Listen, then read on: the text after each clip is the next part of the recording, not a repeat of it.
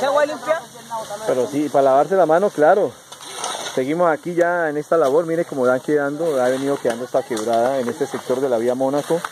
Cuando vimos el video estaba apenas haciéndose la labor, iniciándose la labor de recuperación de este punto, porque no es por toda la quebrada, sino que en este punto donde hay escombros, había maleza y esto genera riesgo porque termina la quebrada Isabel Pérez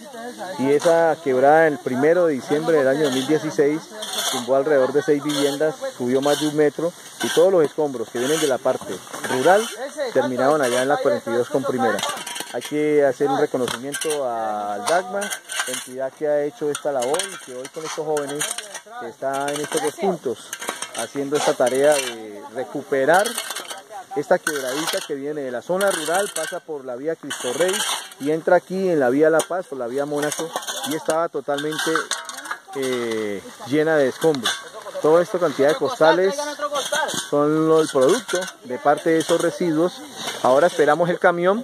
que venga y se lleve los residuos y que la comunidad cuando en este punto tenga algún problema, alguna dificultad denuncie porque está una vía muy sola y eso también se presta para que sigan contaminando y sigan lo inescrupulosos arrojando residuos y escombros en este punto.